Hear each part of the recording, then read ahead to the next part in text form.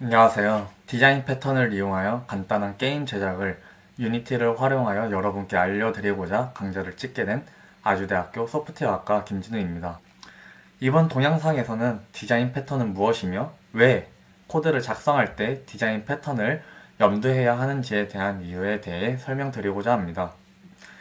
이 영상을 다 보고 나신 후에는 다음 영상부터는 Unity를 이용한 게임, 아, 개발이 진행되므로 다음과 같은 준비물들을 준비해 오셔야 합니다. Unity 버전의 경우 본인이 현재 사용하고 계신 Unity 버전이 있다면 그 버전을 사용하시면 되지만 새롭게 시작하시는 분들은 제 Unity 버전 2022.3.12 버전에 맞게 설치를 하시면 될 것 같습니다. 다음으로 코드를 작성할 때 IDE를 준비해 오시면 됩니다. 저의 경우 라이더를 사용하고 있지만 유니티를 설치할 때 함께 설치되는 비주얼 스튜디오를 사용하셔도 무방합니다. 다음으로는 디자인 패턴을 공부하기 위해서 어느 정도 C샵에 대해 지식이 필요합니다. 여기서 C샵에 대한 지식을 요구하는 이유는 저희는 유니티를 이용한 코딩을 할 것이기에 C샵에 대한 지식을 요구하는 것입니다. 디자인 패턴을 공부하기 위해서 C샵을 알아야 한다는 것은 아니라 유니티 개발을 하기 위해 C샵에 대한 지식을 요구하신, 요구하는 것임을 재차 강조합니다. 그리고 이제 강좌 구성에 대해서 설명을 드리겠습니다.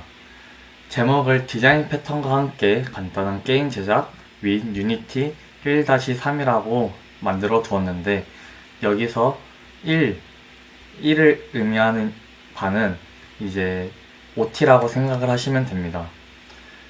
1에서는 이제 디자인 패턴에 대한 설명들 그리고 디자인 패턴을 사용해야 하는 이유에 대해서 다뤄보고 2부터에서 2부터는 디자인 패턴들에 대해서 설명을 드리는 시간을 가지겠습니다.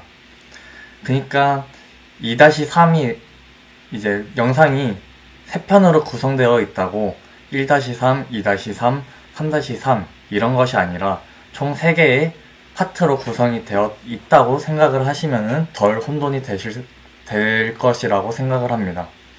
그러니까 디자인 패턴을 제가 만약에 어, factory 패턴, command 패턴, 옵저버 패턴, singleton 패턴 이렇게 네 개를 다 한다고 할 때 그것들이 다 2-5,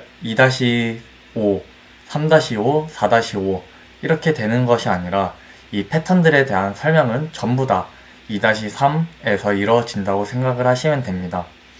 마지막 3-3에서는 디자인 패턴들을 모두 적용한 것들이 사용될 예정이며 그 디자인 패턴 외에 이제 게임이 돌아가기 위한 그런 스크립트들을 작성하는 시간을 갖고 마무리하는 시간을 갖기 위한 챕터, 파트라고 생각을 하시면 됩니다. 다시 한번 정리를 하면은 이제 1-3에서는 디자인 패턴이랑 디자인 패턴을 사용해야 하는 이유에 대한 간단한 OT이고 2-3부터 이제 본격적인 디자인 패턴을 사용하는 방법, 디자인 패턴들에 대한 정의와 그리고 디자인 패턴을 이용한 실습하는 시간을 가지고자 합니다. 마지막 3-3에서는 합쳐서 이제 게임을 실행할 수 있게끔 만들어 보는 시간을 가져보겠습니다. 다음으로 마지막 두 가지 준비물은 유니티를 이용하여 게임을 제작하기 위해 필요한 에셋들입니다. 두 가지 모두 CC, CC0 라이선스이며 링크를 타고 들어가셔서 다운받으시면 됩니다. 다운을 받으신 후에는 패키지들을 모두 Unity에 import 해 주시면 됩니다. 다음으로 디자인 패턴에 대해서 설명드리고자 합니다.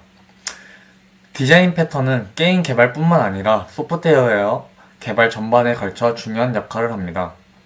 이 영상에서는 강조하고 싶은 것은 디자인 패턴이 유니티에 국한되지 않으며 다른 프로그래밍 분야에도 적용이 가능하다는 점입니다. 저는 단지 좀 더 직관적이고 재밌게 여러분께 설명을 드리고자 유니티를 이용하는 것이 뿐, 이용할 것이, 것입니다. 본론으로 돌아와 디자인 패턴은 개발에서 발생하는 일반적인 문제에 대한 일반적인 해결책입니다. 더 구체적으로 설명해 보자면 여러분들이 코드를 작성하실 때 직면하게 되는 문제들은 이미 수천 명의 개발자들이 앞서 겪었던 문제일 가능성이 매우 높다는 뜻입니다. 그렇다고 그런 문제들이 생길 때마다 수천 명의 개발자들에게 문제를 문제에 대한 조언을 항상 구할 수는 없습니다. 하지만 이제 디자인 패턴을 이용하면 그들이 겪었던 문제들에 대한 그들의 결정에 대해 경험할 수 있고 간접적으로 배울 수 있습니다. 그렇기에 디자인 패턴은 소프트웨어 엔지니어링에서 발견되는 공통 문제에 대한 일반적인 해결, 해결책이라고 부를 수 있습니다. 디자인 패턴 코드 자체로는 완성된 것을 뜻하는 것은 아니며 개발을 할 때 추가적인 도구라고 생각을 하시면 됩니다. 디자인 패턴은 크게 세 가지 종류로 분류할 수 있습니다. 첫 번째, 첫 번째로는 생성 패턴, 두 번째로는 구조 패턴, 세 번째로는 행동 패턴입니다. 생성 패턴의 경우 기존 코드의 재활용과 유연성을 증가시키는 객체 생성 메커니즘을 제공해 줍니다. 구조 패턴의 경우 구조를, 구조를 유연하고 효율적으로 유지하면서 객체와 클래스를 더 큰 구조로 조합하는 방법을 설명해 줍니다. 행동 패턴은 객체 간의 효과적인 의사소통과 책임을, 책임 할당을 처리합니다.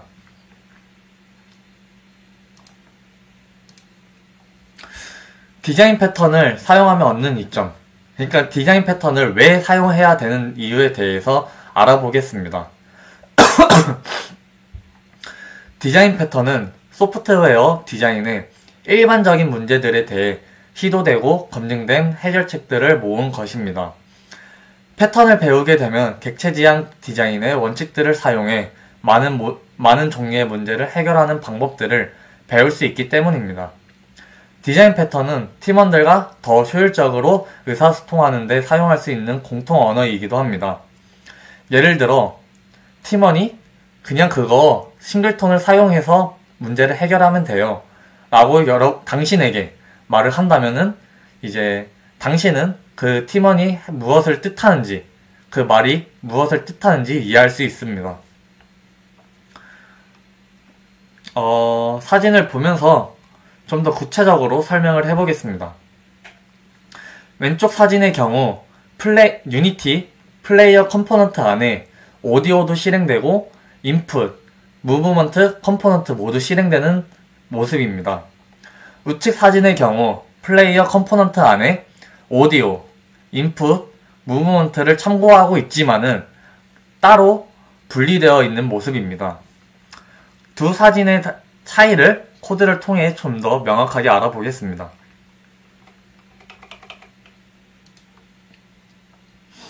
먼저 첫 번째 왼쪽 사진에 있던 사진에 대한 코드입니다. 이 코드의 경우 플레이어가 플레이어 component 안에 세 가지 컴포넌 세 가지 기능을 하는 것이 모두 포함되어 있으며 플레이어가 무언가와 충돌할 때 소리를 재생하고 입력을 관리하며 이동을 처리합니다. 현재 클래스가 비교적, 비교적 짧다 할지라도 프로젝트가 발전함에 따라 유지보수가 굉장히 까다로워질 것입니다. 그 이유는 이 코드 안에 모든 것을 다 해결해야 하기 때문입니다.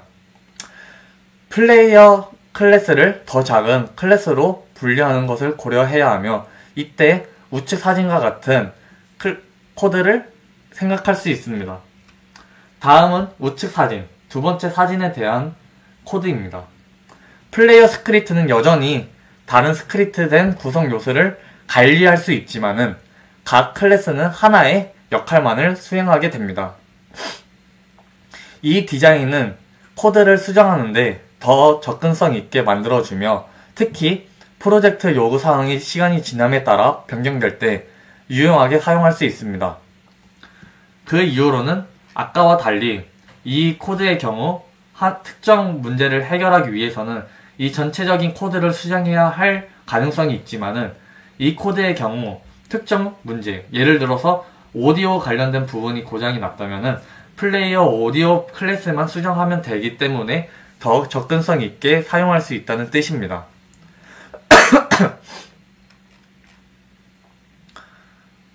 네, 다시 PPT 화면으로 돌아오겠습니다.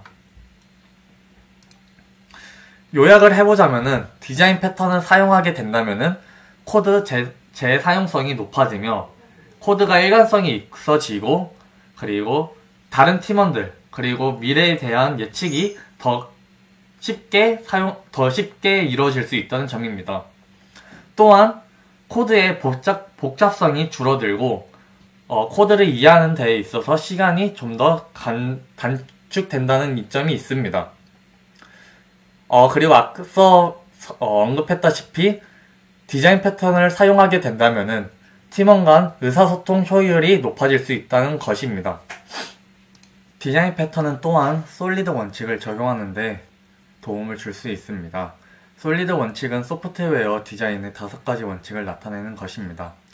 이러한 원칙은 유지보수가 가능하고 확장 가능한 소프트웨어를 만들기 위한 지침으로 디자인 패턴은 이러한 원칙을 준수하기 위한 구조를 제공할 수 있습니다. 예를 들어 개방 폐쇄 원칙에 따르면 소프트웨어는 확장 가능하되 수정은 최소화되어야 합니다. 디자인 패턴은 이러한 원칙을 준수하기 위한 구조를 제공한다는 뜻입니다. 첫 번째로 단일 책임 원칙이 있습니다. 단일 책임 원칙이란 클래스가 변경해야 하는 이유가 하나만 있어야 한다는 것을 뜻하, 뜻합니다. 즉, 클래스는 단일 책임을 져야 함을 뜻합니다. 다음으로는 개방 폐쇄 원칙이 있습니다.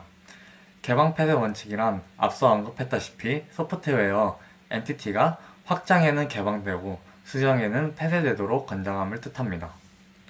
다음으로는 리스코프 치환 원칙이 있습니다. 리스코프 치환 원칙은 올바른 상속 관계의 특징을 정의하기 위함으로 하위 타입은 상위 타입을 대체할 수 있어야 한다는 것을 뜻합니다. 다음으로는 인터페이스 분리 원칙이 있습니다. 인터페이스 분리 원칙이란 목적과 관심이 각기 다른 클라이언트가 있다면 인터페이스를 통해 적절하게 분리해 줄 필요가 있음을 뜻합니다. 마지막으로 종속성 반전 원칙이 있습니다. 종속성 반전 원칙이란 고 수준의 모듈은 저 수준 모듈의 구현에 의존해서는 안 되며 저 수준 모듈이 고 수준 모듈에 의존해야 한다는 것을 뜻합니다. 네, 여기까지 간단하게 이제 디자인 패턴을 왜 사용해야 하는 것이며 디자인 패턴을 사용할, 사용했을 때 얻는 이점과 디자인 패턴은 솔리드 원칙을 지키기 위한 도구로 사용할 수 있다 등에 대해 알아보았습니다. 다음 시간부터는 유니티를 이용한 직접적인 코딩을 함께하는 실습 시간을 가져보고자 합니다. 네, 감사합니다.